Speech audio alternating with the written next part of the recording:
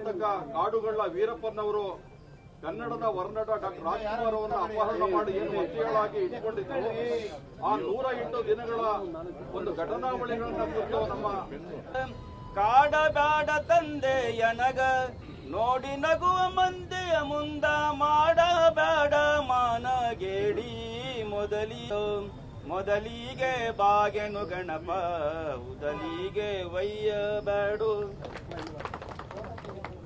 ಯಾವುದೇ ಒಂದು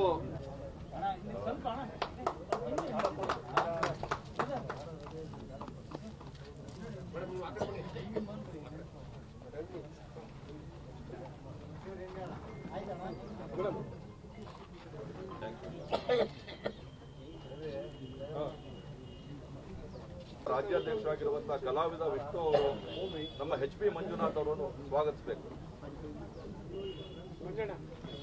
ಉಮಾಪತಿ ಸರ್ ಅವರು ಕೂಡ ಕಾರ್ಯಕ್ರಮ ಬಂದಿದ್ದಾರೆ ಅವ್ರಿಗೂ ನಾನು ಸ್ವಾಗತ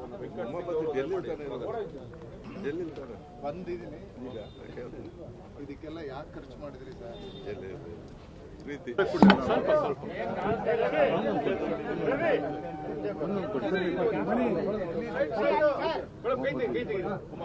ನೀವು ನಮ್ಮ ಗಂಟ ಬನ್ನಿ ಪರವಾಗಿಲ್ಲ ನನಗೆ ಬನ್ನಿ. ಅವ್ರಿಗೆ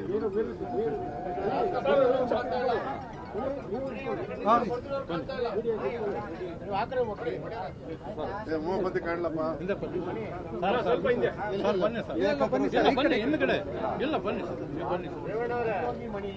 ಸರ್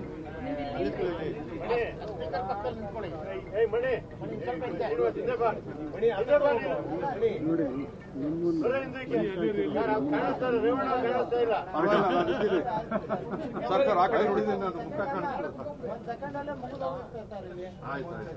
ಇವತ್ತು ಎರಡು ಮಹತ್ವದ ಪುಸ್ತಕಗಳ ಲೋಕಾರ್ಪಣೆ ನಡೀತಾ ಇದೆ.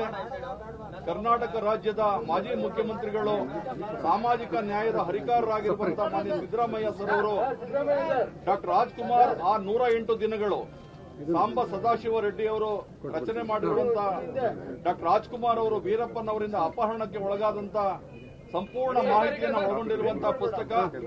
ಹಾಗೆ ಪ್ರಗತಿಪರ ಚಿಂತಕರಾಗಿರುವಂತಹ ಸಮಾಜದ ಬಗ್ಗೆ, ಆರೋಗ್ಯವಂತ ಸಮಾಜದ ನಿರ್ಮಾಣದ ಬಗ್ಗೆ ಒಂದು ವಿಶೇಷವಾದ ಪರಿಕಲ್ಪನೆಯನ್ನು ಇಟ್ಕೊಂಡಿರುವಂತಹ ಸಾಂಬ ಸದಾಶಿವ ರೆಡ್ಡಿ ಅವರು ರಚಿಸಿರುವಂತಹ ಏನು ಕನ್ನಡದ ಇವರು ಮಾಡಿರ್ತಕ್ಕಂಥ ವರದಿನಲ್ಲಿ ನೂರೆಂಟು ದಿನಗಳನ್ನು ಇಲ್ಲಿ ತಮ್ಮ ಪುಸ್ತಕದಲ್ಲಿ ತಮ್ಮ ಅಭಿಪ್ರಾಯಗಳನ್ನು ಮತ್ತು ಆವತ್ತಿನ ದಿನಮಾನಗಳಲ್ಲಿ ನಡೆರ್ತಕ್ಕಂಥ ವಿದ್ಯಮಾನಗಳನ್ನು ಇದರಲ್ಲಿ ಅವರು ಕೊಟ್ಟಿದ್ದಾರೆ ಪತ್ರಿಕೆ ಮೂಲಕ, ಅವರ ಪ್ರಜಾವಾಣಿ ಮೂಲಕ ಕೊಟ್ಟಿದ್ದಾರೆ. ಅದನ್ನು ಮೊಟ್ಟ ಮೊದಲು ನಾನು ಸಾಂಬ ಸದಾಶಿವರೆಡ್ಡಿ ಬಗ್ಗೆ ಒಂದೆರಡು ಮಾತಾಡಬೇಕು ಅಂದರೆ ಪಾವಗಡ, ನಮ್ಮ ತುಮಕೂರು ಜಿಲ್ಲೆಯಲ್ಲಿ ಅದೊಂದು ದ್ವೀಪ. ಅದೇ ಒಂದು ಒಂದು ವಿಶಿಷ್ಟವಾಗಿರ್ತಕ್ಕಂಥದ್ದು ನಮ್ಮ ಕರ್ನಾಟಕ ಮತ್ತು ನಮ್ಮ ತುಮಕೂರು ಜಿಲ್ಲೆಯಲ್ಲಿ. ಮತ್ತು ಅಪ್ಪಟ ತೆಲುಗಿನ ನಾಡು, ಯಾರೂ ಕನ್ನಡ ಮಾತಾಡಲ್ಲ, ಅಲ್ಲೆಲ್ಲನೂ ಕೂಡ ಕನ್ನಡನ ತೆಲುಗಿನಲ್ಲಿ ಕನ್ನಡ ಕಲಿಸ್ತಾರೆ, ಪುಸ್ತಕ ಇಟ್ಕೊಂಡು, ಅಂತ ಇವತ್ತಿಗೂ ಕೂಡ ಇರತಕ್ಕಂಥ ಇದು. ಮತ್ತು ಈತ ಸಾಂಬ ಸದಾಶಿವ ರೆಡ್ಡಿ ಮತಗಿರಿ ತಾಲೂಕಿನ ಅಳಿಯನೂ ಕೂಡ ಹೌದು.